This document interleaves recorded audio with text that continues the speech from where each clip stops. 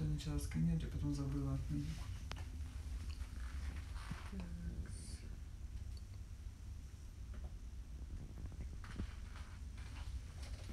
У нас сегодня у Анечки обследование на 3D сканере.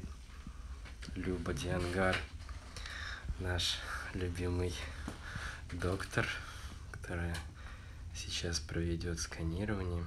Все, что происходит в организме Анечки, вплоть до что стоит стенки сосудов, состав крови. А что еще? Что, что он это вообще? Ну, объясни, что это не фотография сканирования, а именно митохондриевая активность Митохондриевая активность. разных органов, да. Поэтому моделируется с точки зрения митохондриевой деятельности. Анечка сейчас должна молчать, не шевелиться, потому что идет как раз самое основное такое вот сканирование. Э, Это производится изменение 350 параметров, а потом делаются расчеты примерно со скоростью 10 тысяч расчетов в секунду. И рассчитываются другие параметры, которые невозможно померить э, сразу же. То есть это расчетные параметры и замерительные параметры.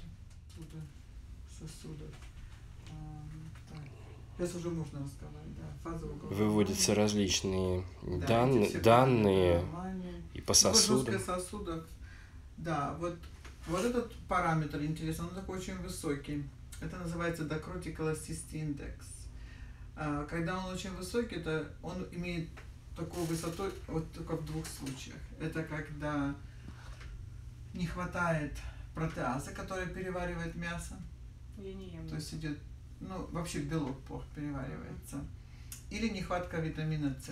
То есть тут в двух случаях он тогда высокий такой. Он может давать такие обмороки, слабость, такие такой Ну, вот. Если слабость. быстро с кровати встать, то будет такое головокружение, вот такие. бывает. Потому что сосуды не хват... в сосудах не хватает вот этого вот firm... firmness, не знаю, сказать. Упругости. Упругости не хватает. Кишечники. Ты видишь, вот на экране показаны уже внутренние органы. Мгм. Ну, он моделирует с точки зрения вот воспалительного процесса по забору кислорода, сколько кислорода оно берет, э, каково давление газов там, это вот расчетные параметры, потом это все моделируется на модели. Мгм. Ну, сейчас докопаемся, почему так. Тут вроде все нормально, Маркус. А есть воспаление мочи? Да, вот пусть он снимет. Ага, вот так. Палец, мизинец, большой мизинец. Это важное упражнение, делать Да. его каждый день несколько раз. Попробуйте. Вот, Ань, покажи, как ты это делаешь. Да, сейчас я Да. покажу.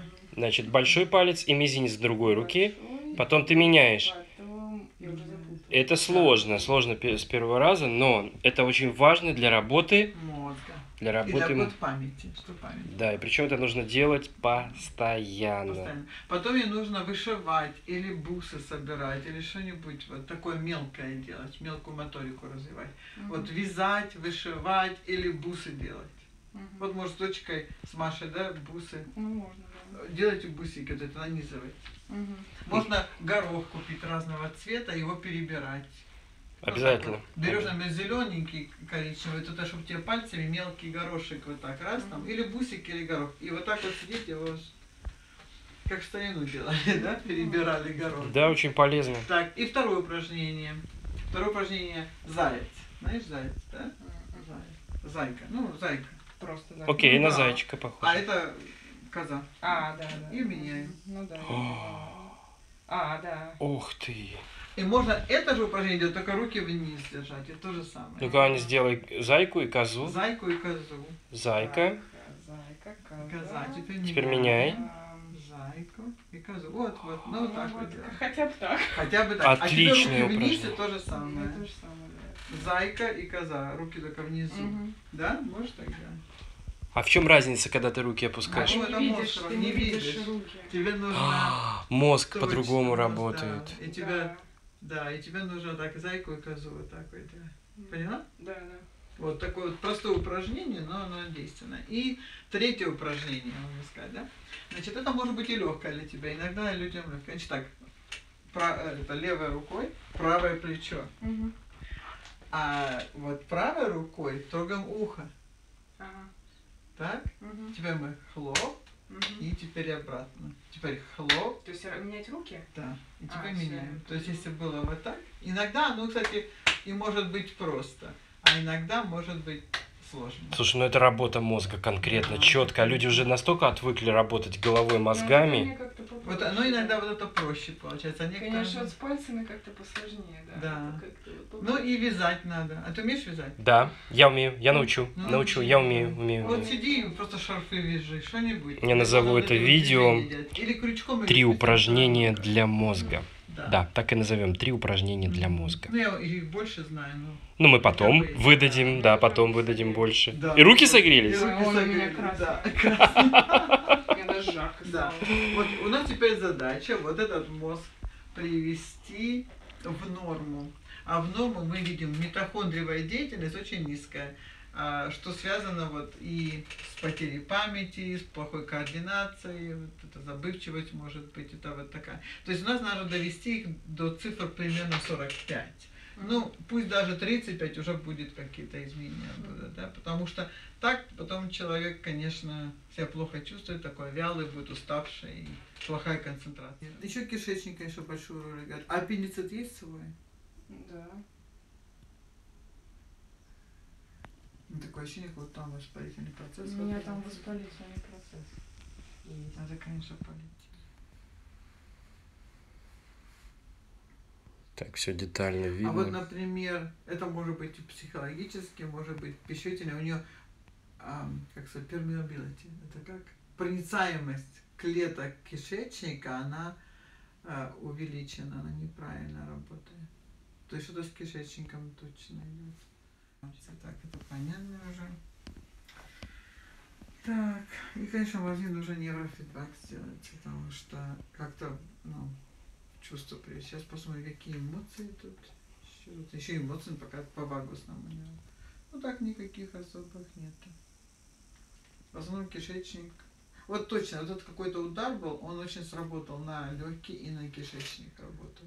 Это вот удар был вперед, а потом уже кишечник. Того, что идет, это с кишечником, с инфекцией с С легким, перекат. Это вот объяснение, это что то, такое сердце, вот что, что связано с этим. Потому что ее надо лечить не через ноги, через руки, вот через эти точки. Давай тогда Элина поставит. Так, ди- после Я диагностики бы будет такой вот вот видишь, лечение вот ультразвуком, электрозвуком. неравномерное. Левая сторона? Ну, прямо как классик. Ну, такое редко у нас приходит с такими. А у нее вся левая сторона, Меня- у нее не имеет. Когда делали массаж, мне сказали, что у меня левая сторона очень напряжена. Но тут не только левая, тут и правая тянет не в ту сторону. Как бы все мышцы, каждая, это моделирование мышц натяжения. Вот там, где нормально натянуто, они серыми. Там, где идет ненормальное натяжение, оно идет вот так. В легком точно инфекция. Точно, точно. Так, давай Пока мама у нас там сканируется, мы с ребятами здесь в отдельной комнатке ждем ее.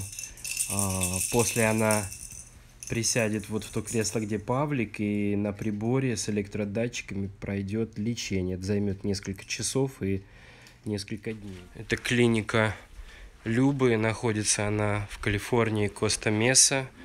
У нее есть несколько клиник, которые находятся по всему миру. Это в Мексике, в Испании и, по-моему, где-то вот в Азии еще она про нее рассказывала. Вот здесь принимают клиентов. Там кабинеты. Их там, по-моему, 4 или 5. Ресепшн. Там людей уч- лечат. Кухня. Вот они водичку пьют.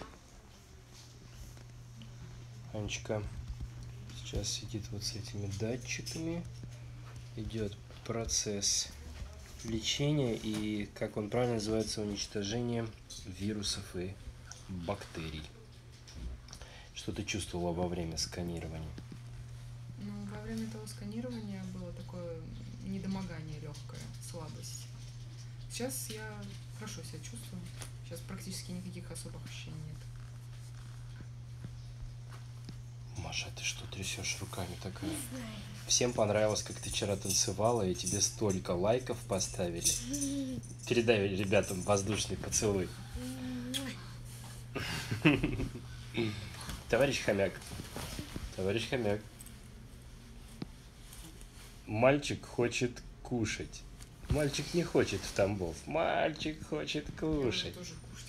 Мы все хотим кушать, потому что процесс долгий, а мы завтракали в 10 утра. Ну, во всяком случае, я теперь знаю, как свои проблемы. О. Проблемы моего организма. О да, причем они причем очень хорошо, четко откладываются с воспоминаниями, что было, как, чего было, да. Да, ну, дай бог, дай бог, вылечим. Вылечим тебя, вылечим меня, всех вылечим. А про обследование и то, что сегодня прошло такой небольшой курс лечения у Анечки замечательно окончено на сегодняшний день. А, не переживайте, на самом деле ничего такого криминального в здоровье ни у меня, ни у Анечки нет. Это связано с каждым человеком. У каждого у нас были либо травмы, либо были физиологические какие-то повреждения, ведущие к увеличению бактер... бактерий, э, вирусов в организме. Поэтому это, назовем так, это традиционное лечение, которое проводит э, э, Люба Диангар, э, исследование, что у тебя в организме на данный момент и как это исправить, потому что на самом деле, как показала практика, исправить можно абсолютно все. Всё. Вот у Анечки в 17 лет мы избавили от панкреатита в Москве. А, У доктора Агулова, а, наш доктор Константин Анатольевич. Вот. А сейчас, вот, кстати, э, по- помогая этой клинике Агулова, мой друг Хазов, Олег Хазов, э, проводит онлайн обучение, проводит, э, так скажем, терапию и практику в Москве. Олег Хазов, э, можете посмотреть его канал, я дам ссылочку под низом. Это не реклама, это рассказ о людях, которых я уважаю и которые делают большое дело для того, чтобы люди были здоровы без лекарств. С вами был Олег Забугорский. И мисс Анюта. Пока.